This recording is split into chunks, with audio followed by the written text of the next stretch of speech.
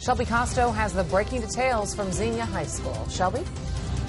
Well, Brenda Osborne will not be at work here at Xenia High School tomorrow morning. She will be in court answering to these charges.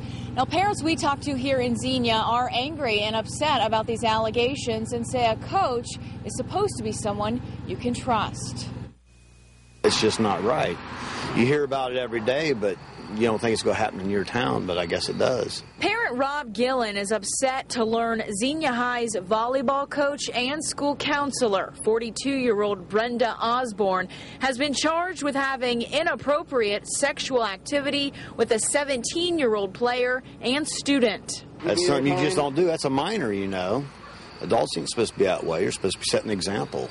Xenia police say the alleged sexual misconduct occurred off school grounds, and they are still investigating to see if there are any more students involved. It's always our goal to protect the people that uh, can't protect themselves. So, uh, in this case, I think we did a very good job of that. Osborne has been with the school district for over a decade. She was a gym and health teacher before she became a school counselor.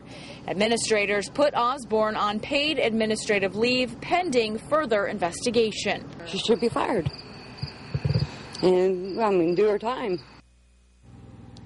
Now, Osborne posted bond after she was arrested and jailed this afternoon. She is scheduled to appear in court tomorrow morning. Reporting live in Xenia, Shelby Costo, 2 News on your side. Okay, Shelby.